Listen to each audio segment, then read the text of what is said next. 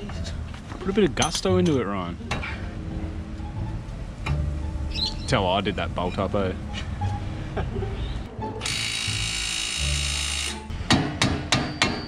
I Loctited it. Did you actually? No. it's actually pretty easy getting your rotor off, eh? It is, eh, when you're, Yeah. when you're watching. Yeah. Wait, look at this. It's off. Yeah. Didn't even have to do Not much. hard at all. Yeah. There you go. How, how warm is that? Oh, yeah. Bit of wear. I thought you said they weren't too bad. Oh, well, they're a bit bad. Yeah. Look at that. Yeah, that's the noise I'm hearing. Yeah. How did you do that in 20,000 kilometres, Tom? 20, 26,000 Ks. Pads 27,900. and- It's got Pads, long- rotors, You've and been going bearings. down the Laney Range every day, mate. Right, I'll go get some new ones. You excited, Ryan? oh, yeah, mate. Make sure you lube those up too. You lube the disc up with inox. Oh, yeah. so, it I don't like good brakes, mate. so it catches fire. You can tell I don't like good brakes. He's got all the tricks to the trade, this bloke. Were these ones cooked? Yep. Oh. They're, they're still alright. We'll chuck them back on. I'd probably keep, keep them for spares. These are wrong, mate. It says SUV. That's not. You've got a bit of lube for these things, mate. Pair of multi grips. They're inside, right? See Ryan's car. Look at this. You reckons that his wheels and tyres are fine. Look how much better that looks. It looks better, eh? Put a poll up on the video, Tom. So Ryan's done new pads and rotors. How sick do they look? He's done them in record timing. It's been about 30 minutes. Going to brake a lot better now. So literally about to start on that, we thought we'd check the rear brakes because this thing's had some braking issues for a while, but pulled the drums off and the actual drum itself is stuffed. The shoes are completely worn. They're all scratched up. So Ryan's actually taken the drums now to get machined and we're going to replace the shoes as well, but we're just going to quickly clean it all up and then um, we can finally get stuck into the patrol.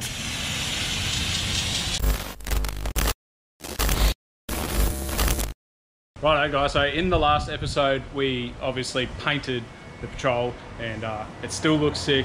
It turned out absolutely insane. I'm so happy with that.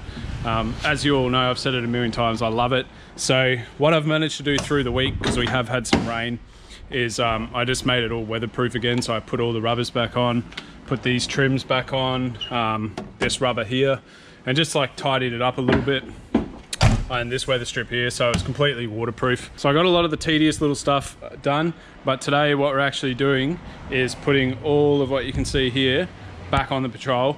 Um, but firstly i need to paint all of the grill because this is like a sort of a grey i want this to be satin black. I need to paint the fenders the back parts the window wipers.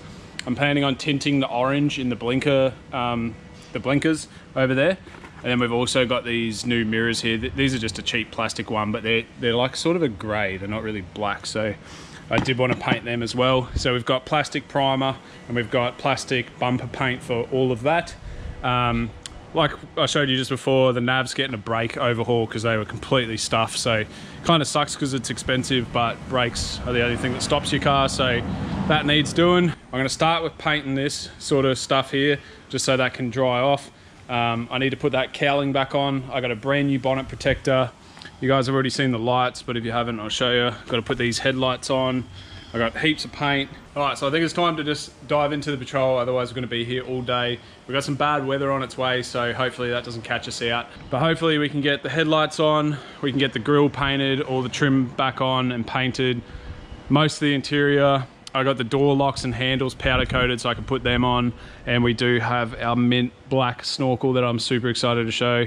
Um, but that can get put back on as well. And it'll start looking like a car again because we're not far away from starting to fab up a tray, which means she's back out on the road.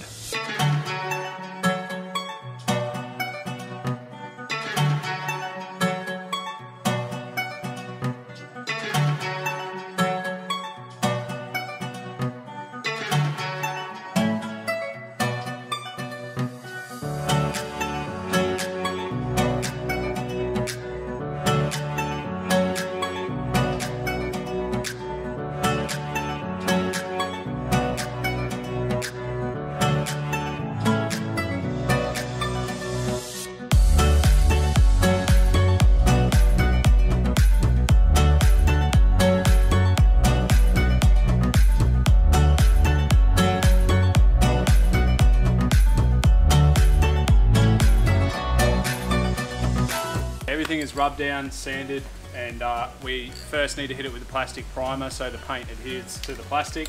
It's actually really hard to paint plastic, so um, I always just use Scotch Brite and then a plastic primer and then you paint and it just it seems to work a lot better. I have used just paint and then you get like fish eyes and all that in the paint. So this should work and um, it's time to prime. Time to prime. Time to prime, mate. We are going to black out this Nissan badge too because I can't get it off, so it's just it's getting black.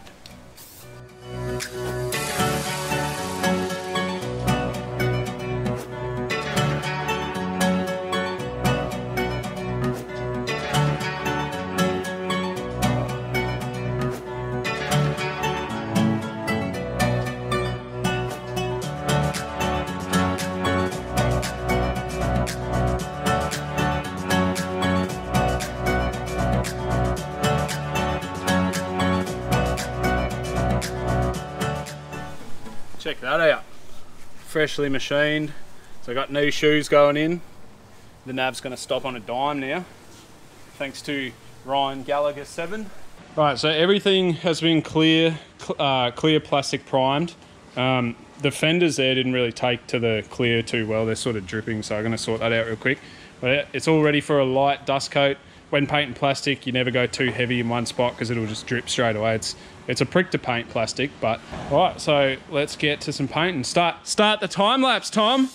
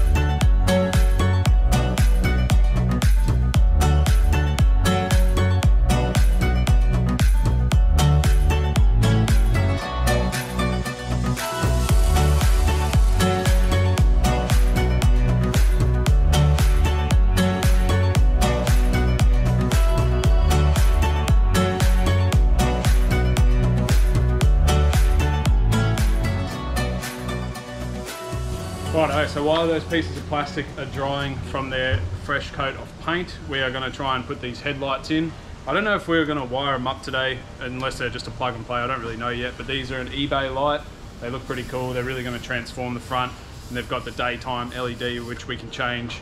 Um, pretty sure with our phone, I can change the color of that.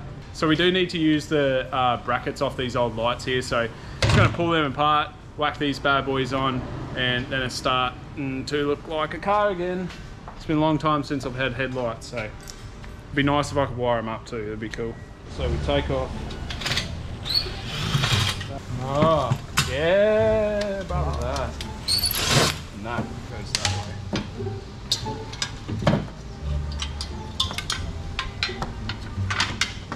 Alright, before we do that, I'm actually going to paint this chrome lip because I think you are going to see that. That's better, all black.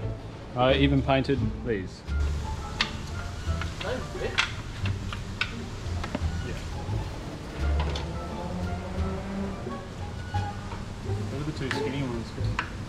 I've opted for the express install. That really doesn't feel like it's in properly.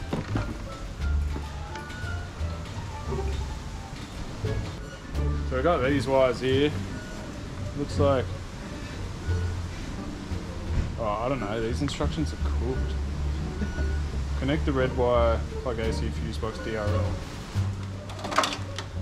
Get this dog out of the way for a second.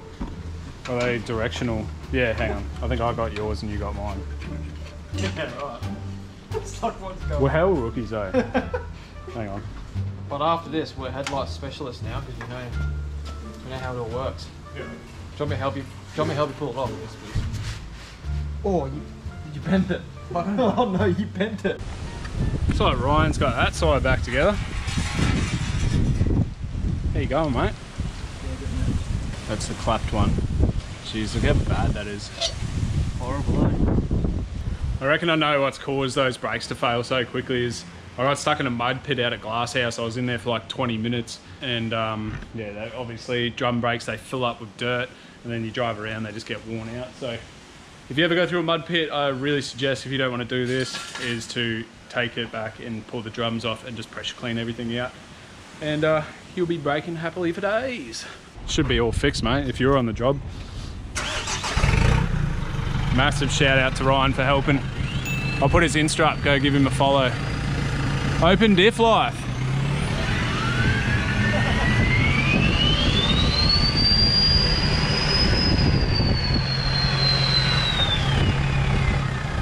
She's stopping, so that's spinning. Stopped on a dime, mate. So new shoes, rotors and pads and machine drums for the Nev. What about the handbrake? Oh, and the handbrake. got a I'll, I'll go show him, mate. I'll go show him. So the handbrake used to point to the Northern Star when I ripped it. Now it's on a nice angle there. It used to come up here. She just wasn't working, which is how I knew that there was sort of a problem. But Ryan's on the job, which means the problem's now gone. So we've got, I don't know if you guys can see that, but there's a big storm coming over. So um, there's even a cloud up there. What's he doing? Right, what are we doing? There's a storm coming over, so we're gonna have to. We've got so many cars here. Look, We'll have a look at that. Bloody possible hailstorm. That's it. Just up there. It's just looking pretty black. It's coming over pretty quickly. The wind's picking up, so we're gonna have to try and get some cars away. You're gonna take your car back to yours. Try and hide it at the shops or something. I'm gonna have to get the Nev somewhere, and then Yeah, I gotta get I gotta get the work truck in. Gotta get D-Max somewhere. Bloody storms raining on our parade, eh? So we've got Alicia's car parked undercover over there. I mean the work truck and the patrol in there. We've got our two cars over in a servo over there, me and Ryan. We'll have a look at it. Basically right on top of it. Right, just gotta wait it out. Looks awesome. I'm stoked with that. eh? That was my finger. Don't scratch it. Oh, that was my finger! Now that I've done a couple, I'm fucking on a roll. Tom's had Tom's done two. Isn't a couple and a two the same? No, I said now that I've done a couple, I'm on a roll. And then Tom's done two, so you've done the same amount. Isn't that what you were getting at? Yeah. now that I've done a couple, I'm on a roll. I've done more than a couple now. That's what I'm saying. Uh, yeah he's lost the plot, didn't he? He's not making any sense. So as that storm has sort of rolled over, we've just been tinkering away at it. Pretty much got the grill on, got the lights on. Pretty much they're wired up, but we just got to run one more wire to make the um, any time lights work, whatever they're called. Got the blinkers on, all on the sides, and one handle on. But it's looking pretty sick. I'm staring at it right now. What do you reckon, Ryan? Yeah, it looks good. Ryan's going to put the light on. We just got to wire them up, but looks pretty sick. Definitely made it a lot better. And um, we just got to hole saw this bonnet scoop out so we can get our snorkel going again because otherwise if we hit water it's going to suck it in.